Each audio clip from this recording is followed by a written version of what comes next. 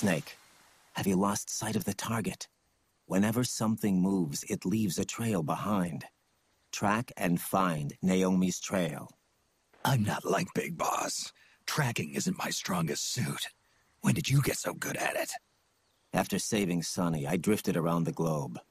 In Alaska, a tribal elder taught me some scouting techniques. Drifted? You never went back to see Rose? Rose? She doesn't exist. No. Rose and I live in different worlds, different times. Her world has no place for someone like me. My place is here on the battlefield. Huh. Listen, Snake. Scouting is based on the principles of hunting. There are two fundamentals awareness and tracking. Awareness? Awareness refers to locating a trail by paying careful attention to your surroundings. Tracking means to follow that trail. Your target's trail could be footprints, a branch they broke along the way, bent grass trampled underfoot. You need to feel for clues using all your senses sound, smell, touch, the direction of the wind. Watch how the animals move. Listen for unusual bird calls. These are signs that someone may be disrupting the environment nearby. You sound like a hmm. ninja. Exactly.